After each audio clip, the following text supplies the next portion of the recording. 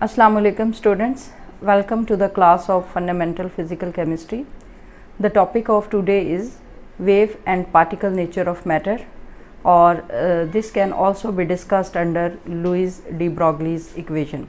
तो अगर आपको पेपर uh, में for example wave and particle nature of matter को एक्सप्लेन करने का कहा जाता है या simply you may ask to write Louis de Broglie's write a note for example on Louis de Broglie's equation so in both cases uh, you will discuss the subject matter which we are going to study. अच्छा तो अब इसमें uh, 1905 में Albert Einstein ने uh, ये propose किया that light has a dual character it means that light can sometimes behave as particle and sometimes it can behave as in the form of waves तो previous lectures में uh, हमने different phenomena को discuss किया था जिसमें light ने prove किया that it will travel in the form of waves और इसी तरह कुछ हमने ऐसे फिनोमेना को डिस्कस किया था जिसमें लाइट ने ये प्रूव किया that it will behave like particles अच्छा तो अब हम ज़रा और आगे चलते हैं इसी चीज़ को आगे बढ़ाते हुए इसी फिनोमेना को इन 1924 लुइस डी ब्रॉगली ने ये पॉस्टुलेट किया that every material particle is associated with wave like properties कि कोई भी आपके पास मटेरियल पार्टिकल है तो उसकी वेव लाइक प्रॉपर्टीज़ जो हैं वो लाजमी होंगी। अब मटेरियल पार्टिकल से यहाँ हमारा हमारी मुराद क्या है? That is what is meant by material particle तो कोई भी मैटर या कोई भी ऐसा सब्सटेंस जिसका मास हो, हम उसको मटेरियल पार्टिकल कहेंगे। तो चूँकि हम फ़िज़िकल केमिस्ट्री को डील कर रहे हैं और फ़िज़िकल केमिस्ट्री में जो मटेरियल पार्टिकल हैं, जैसा कि मैंने पिछले लेक्चर में कहा था, हम सब अटोमिक पार्टिकल्स को कंसिडर करेंगे। तो here for example we can consider material particle in the prospectus prospective perspective of this lecture we can consider electron as a material particle और आपको पता है कि इलेक्ट्रॉन के साथ एक मास जो है वो एसोसिएटेड है which is 9.1 point one into ten raise to power minus thirty one तो लुइस डी ब्रॉगली के पॉस्टुलेशन के मुताबिक, यानी अगर हम इस मटेरियल पार्टिकल की जगह इलेक्ट्रॉन को कंसिडर कर लें तो इसका मतलब ये है कि इलेक्ट्रॉन जो है जब ट्रैवल करेगा तो उसके साथ वेव लाइक प्रॉपर्टीज़ जो हैं वो एसोसिएटेड होंगी। यानी इलेक्ट्रॉन जब मूव करेगा तो उसके साथ एक वेव एसोसिएटेड होगी। और फिर जो है हम देखेंगे कि इस वेव को पहले तो हम प्रूफ करेंगे कि हर material particle for example electron के साथ एक वेवलेंथ एसोसिएटेड है। और फिर थोड़ा सा हम ये भी डिस्कस करेंगे कि इस वेव को किस तरह से मैयर किया जा सकता है। Okay so for the purpose of de Broglie equation de Broglie ने प्रपोज किया एक relationship between P and lambda of a particle in motion by P I mean momentum momentum and by lambda I mean wavelength तो de Broglie ने एक relationship बनाया momentum of a particle and wavelength of a particle which was constantly in motion जो कि move कर रहा था। तो अब उसने क्या किया? पहले उसने energy of a particle propose की which is equal to E is equal to H nu और uh, अब एनर्जी ऑफ़ पार्टिकल को उसने किस तरह से ट्रीट किया? यानी जो इलेक्ट्रॉन है for example because we are taking here electron as an example of particle तो उसने uh, जो इलेक्ट्रॉन की एनर्जी है यानी पार्टिकल की एनर्जी है उसको एग्जैक्टली एनर्जी ऑफ़ फोटोन यानी लाइट uh, की या रेडिएशन की एनर्जी के uh, मुताबिक बिल्कुल उसकी तरह उसने इसको कंसिडर किया उसको लिया। तो जो एनर्जी ऑफ़ पार्टिकल है this is equal to E is equal to H nu and we know that H is Planck's constant and nu is the frequency of particle तो अब न्यू जो है from our previous knowledge we know that nu frequency this is equal to C over lambda और if we put the value of nu from here in this equation then equation number 1 it will become E is equal to hc over lambda. Uh, अच्छा जी अब ये तो हो गया energy which is associated with a particle अब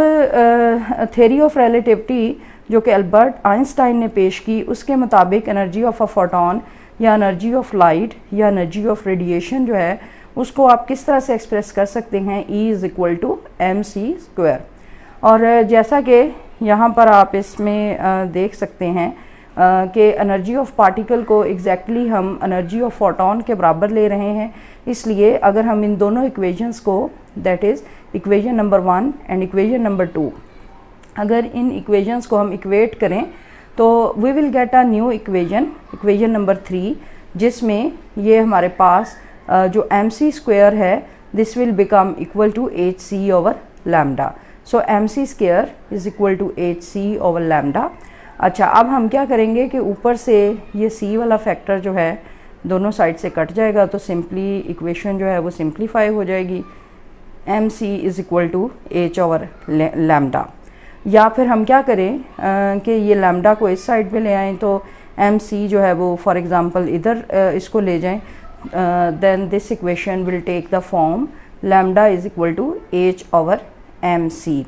or uh, we can say uh, lambda is equal to H over P uh, where uh, that is actually MC this factor is equal to P uh, where P is the uh, momentum and C we know that is the velocity of light. So, here we are taking um, photon that is um, a quanta of radiation uh, right and its velocity we are taking as velocity of light or velocity of radiation.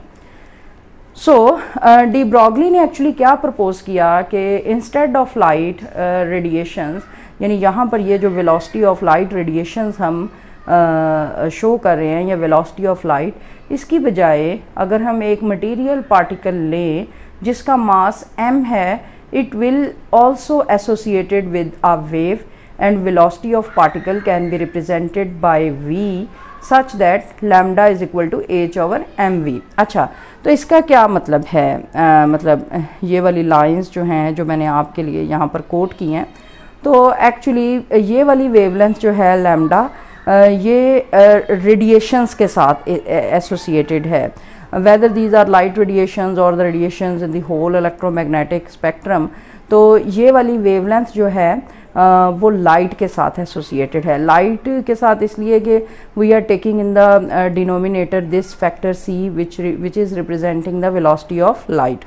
तो इसकी जगह अगर हम यहाँ पर uh, कोई material particle consider करें uh, तो हम उसकी वेलोसिटी को फिर v से रिप्रेजेंट कर दें। तो अब ये वाली जो इक्वेशन है दिस uh, ये आपको देगी wavelength which is associated with the material particle and not associated with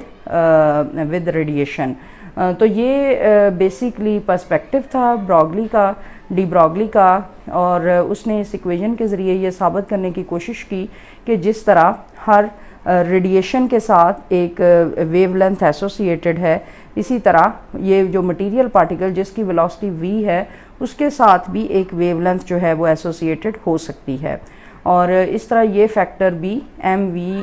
here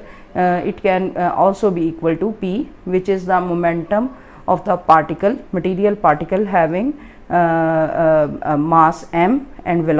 v.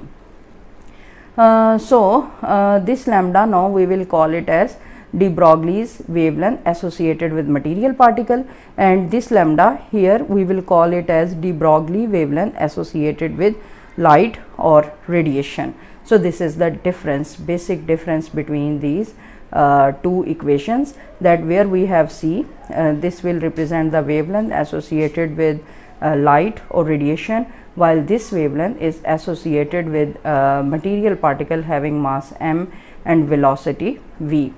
Uh, so,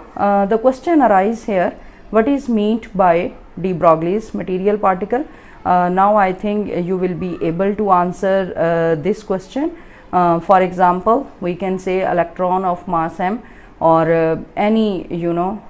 particle और एनी एटम और molecule which is having a mass which is having some mass it may not be only electron it can be neutron और proton as well so how is it associated with wave मतलब अब ये सारी actually कहने की बातें नहीं हैं कि मटेरियल पार्टिकल के साथ वेव एसोसिएटेड है। So it was actually proved in 1927 by Davisson and Germer and this is the subject matter of our next lecture and next lecture में हम ये देखेंगे कि किस तरह से डेविसन और जर्मन ने ये प्रूव किया कि जब इलेक्ट्रॉन की डायफ्रैक्शन हुई बाय निकल क्रिस्टल तो इन इलेक्ट्रॉन्स ने बिल्कुल ऐसे बिहेव किया जैसा कि एक्स रेज की डायफ्रैक्शन हो रही थी निकल क्रिस्टल से। तो इलेक्ट्रॉन जो है मटेरियल पार्टिकल है और एक्स रेज जो हैं वो रेडिएशंस हैं। और निकल क्रिस्टल से जब वो डायफ्रैक्ट हुए तो उन दोनों ने बिल्कुल एक तरह बिहेव किया। तो ये हम इन तफसील में this is the subject matter of next lecture so homework I hope you will like it and do not dislike it. Actually i enjoy this lecture very much and i am very much hopeful that uh, you people will also like it uh, और अगर आपको कोई भी problem uh, है कोई मुश्किल मुश्किल है uh, या कोई फीडबैक देना चाहते हैं you are very welcome to mention in the comments अच्छा जी अब जो आपका होमवर्क है आपने कैलकुलेट करनी है wavelength associated with an electron of mass m Uh, uh, the value of m we know that for electron 9.1 into 10 raised to power minus 31 kg and uh, it is moving with a velocity of 10 raised to power 8 meter per second. So, this was about today's lecture and we will meet in the next lecture with Davison and Germer experiment. Allah Hafiz.